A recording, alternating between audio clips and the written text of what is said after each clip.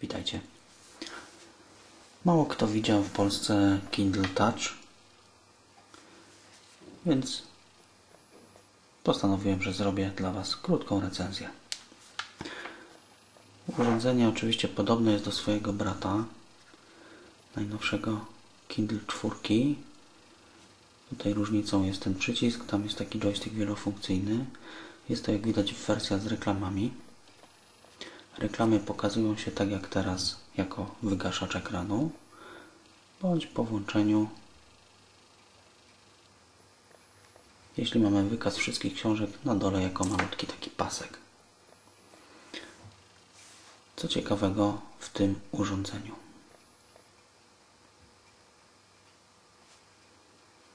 Otóż mamy w nim odtwarzacz MP3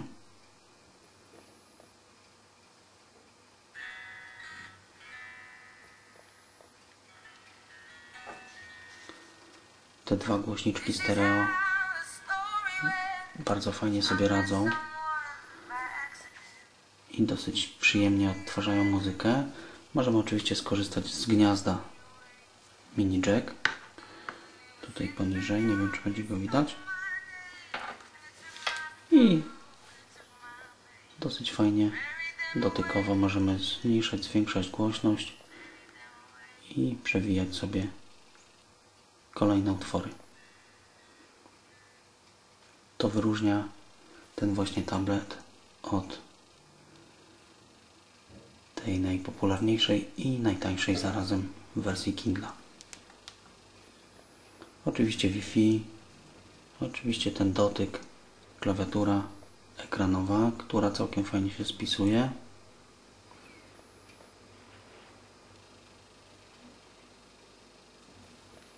Co więcej? Cała nawigacja, załóżmy, gdybyśmy czytali książkę, odbywa się w ten sposób. Możemy albo przesuwać sobie poprzez dotyk, to można robić również jedną ręką i dosyć jest wygodne, albo poprzez przesuwanie w prawo, w lewo. Kontrast jest dosyć fajny. Urządzenie nie palcuje się prawie wcale. Nie odbija światła. Nie wiem, czy to widać. Pewnie coś tam troszeczkę widać. Ogólnie polecam. Czy kupiłbym to jeszcze raz? Myślę, że za tą cenę nie ma nic lepszego. A cały ten dotyk uważam, że jest bardzo fajny, intuicyjny i dosyć dobrze się tego używa. Może jeszcze powiem o kalibre, poprzez który można sobie prenumerować e, prasę polską. Tutaj akurat mamy chyba wprost, z tego co pamiętam. I właśnie w ten sposób można sobie czytać prasę. Dosyć fajne urządzenie. Chcielibyśmy powiększyć czcionkę. Można to po prostu zrobić poprzez rozsuwanie.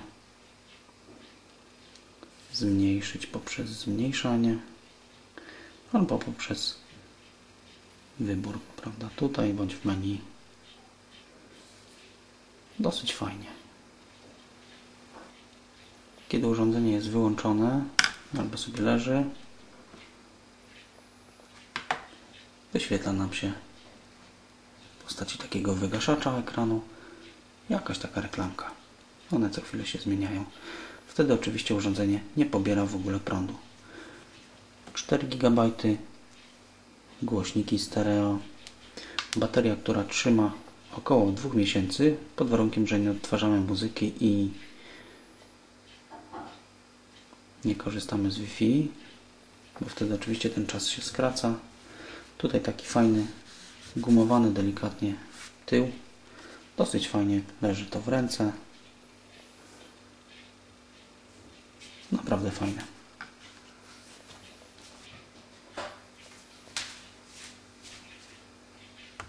Tu jeszcze porównanie do iPhone'a, mniej więcej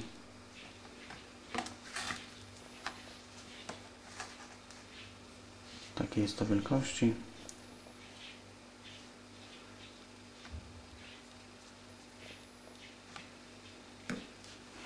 No i cóż, jeszcze jedna fajna rzecz. Tutaj mamy to złącze mikro USB i kabel, który przychodzi razem z urządzeniem, jest w pudełku. Pasuje również do Nokii i można sobie skorzystać w ten sposób, podłączyć do komputera telefon. To tyle, dzięki.